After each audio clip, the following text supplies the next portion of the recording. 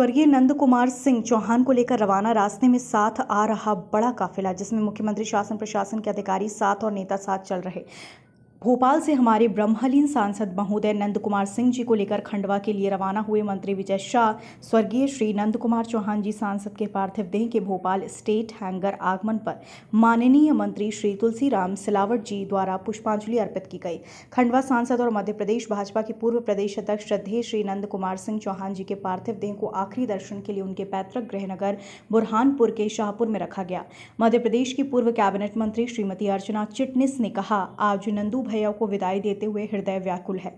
मन भारी है। नंदू भैया का जाना भाजपा के साथ साथ संपूर्ण निमाड़ और मध्य प्रदेश के लिए अपूर्णीय क्षति है। ईश्वर उन्हें अपने श्री चरणों में स्थान दे।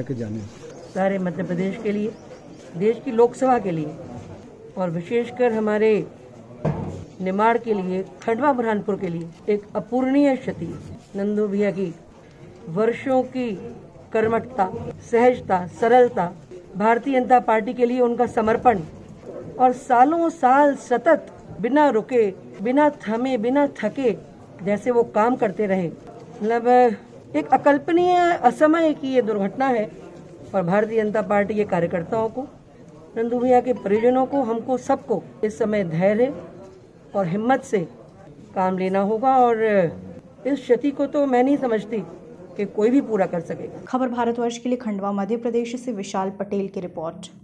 अपने शहर अपने प्रदेश की ताज़ा खबरों के लिए लाइक करें शेयर करें सब्सक्राइब करें और हाँ बेल आइकन दबाना ना भूलें। क्योंकि खबर हमारी फैसला जनतंत्र का।